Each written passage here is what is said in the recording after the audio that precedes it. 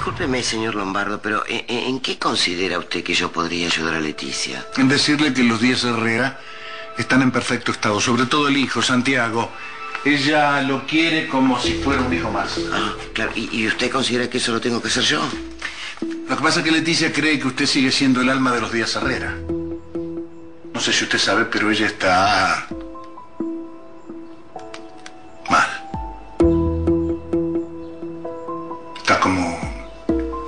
Perdida en el tiempo. A lo mejor si usted fuera a verla, se me ocurrió. No, no le puedo seguir el juego. Yo no estoy jugando, señora. Soy un hombre que le cuesta reconocer que su mujer necesita ayuda, nada más. Señora Sara, debo decirle que coincido con Alberto. Usted debería ir a visitar a Leticia. Es una mujer que está enferma, así que apelo a su generosidad. Entiendo que la señora Sara está reconociendo que a lo mejor esta situación puede superarla. Está bien, discúlpenme. Usted verá.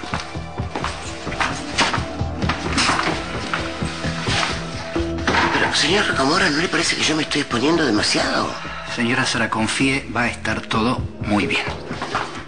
Bueno, Santiago, eh, está bien. Me, me decidí, la, la, la voy a ver a Leticia. Ahora, no sé, ¿se te ocurre que le diga algo? ¿Te parece algo? No sé.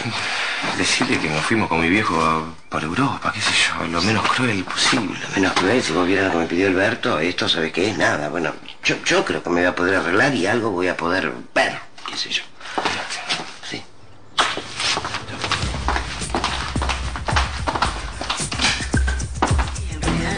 Quería ver a Leticia. Sí. No sabía que ustedes tenían relación. Ahora entiendo por qué me dijiste todo lo que me dijiste el otro día. La voy a buscar.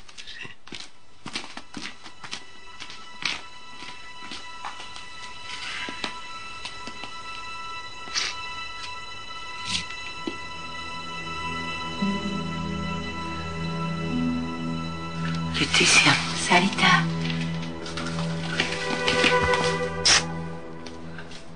¿Cómo estás?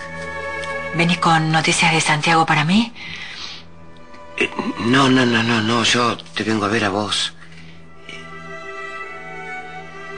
Bueno, me gustaría hablar un poquito a solas. Discúlpeme, Elena, pero ella quiere que conversemos a solas. Sí, permiso. Hasta luego, Sarita. No sé por qué me da tanta emoción verte.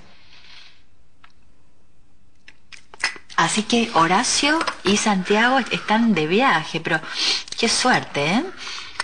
Sí, una. Una suerte, sí. ¿Y, y vos? ¿Cómo estás vos? Como siempre.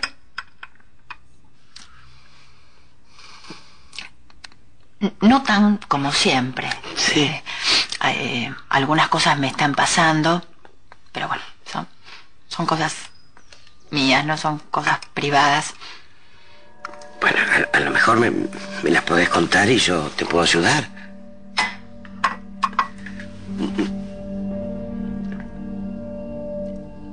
A veces tengo la, eh, la mente confusa. Como si estuviera en sombras. Si no estuviera viviendo en la realidad. Yo estaba lo más bien acá, con mi marido, con mis hijos, y de repente me empecé a, confundir.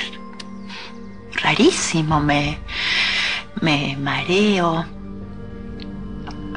Hay veces que no, no sé bien quién soy. Leticia, no, no sería conveniente bueno, que, que veas a un médico, que alguien te pueda ayudar. Alberto, sí, sí, Alberto ya me dijo que vamos a ir a uno, a un doctor buenísimo que él conoce. Me, me vienen cosas feas a la cabeza. Son pesadillas, son pesadillas porque son cosas que yo no viví. Bueno, a, a lo mejor las viviste, pero... Pero bueno, por el momento que estás viviendo no, no te acordás, pero las viviste. Pienso, ¿no? Alberto y los chicos me dijeron que yo estuve lejos. Lejos. Pero lejos. ¿Dónde? ¿Lejos dónde?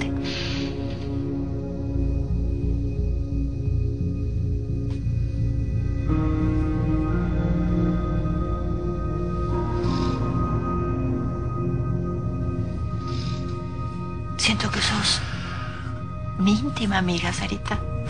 Fíjate vos. Y, y somos conocidas apenas. Bueno, no, conocidas apenas no, no, nosotras vivimos cosas muy, muy fuertes juntas, Leticia. Y, y ahí nos hicimos grandes amigas. ¿Cuándo? ¿Cuándo nos, nos hicimos grandes amigas? Bueno, fue un, un momento tuyo de, de una gran desesperación. ¿Te acordaste? ¿Y ese momento de desesperación fue antes o después de que mi madre haya sido dada por muerta? Aclararte que yo dejé de ver a tu madre cuando dejaron de verlo todos. No, no entiendo muy bien a qué viene esa pregunta. Claro, cuando. Cuando los dejé de ver fue que me dieron por muerta. Eh, eh, por favor, Leticia, eh, vos quedate tranquila, no, no, no te angusties, porque tus pensamientos se van in- o- ordenando solos, ¿sabes? Y también quiero que sepas que yo estoy acá porque tu padre me lo pidió. Pero evidentemente se ve que es contraproducente, así que bueno, nos veremos en otro momento, ¿eh? Sí. Si, si Horacio te, te llama, o Santiago, digo, de Europa, mándale me saludos. Sí, sí, sí.